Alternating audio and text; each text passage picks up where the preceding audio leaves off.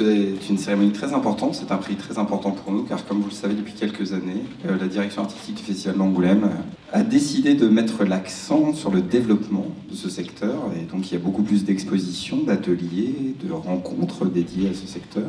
Je suis très, très heureux d'être euh, parmi vous aujourd'hui et très honoré euh, d'être présent et d'avoir été invité à, à inaugurer, à, lancer cette, euh, cette, soirée de remise de prix. Je suis très heureux parce que ça m'a permis de passer euh, une journée euh, au festival, une journée de rencontre, et c'était absolument passionnant. Alors qu'est-ce qui manque là? Il manque quelque chose. Parce que en fait, vous n'êtes pas sûr que ce soit Bernadette Després. Hein.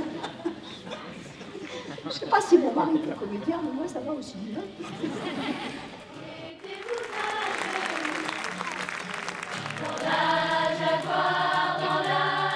Commençons euh, tout de suite avec euh, cette image. Les dinosaures n'ont pas inventé la bande dessinée. La preuve Parce que les bras des T-Rex sont trop petits pour voir ce qu'ils dessinent. Un T-Rex qui dessine, en fait, ses bras sont là, donc il dessine, il voit pas ce qu'il dessine. Du coup, après, il regarde, il fait Ah Et il essaye de. Et il peut. Voilà. J'ai pas mieux. Passons tout de suite au prix des écoles d'Angoulême.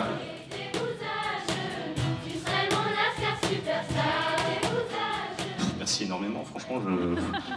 Oh là, attendez, je...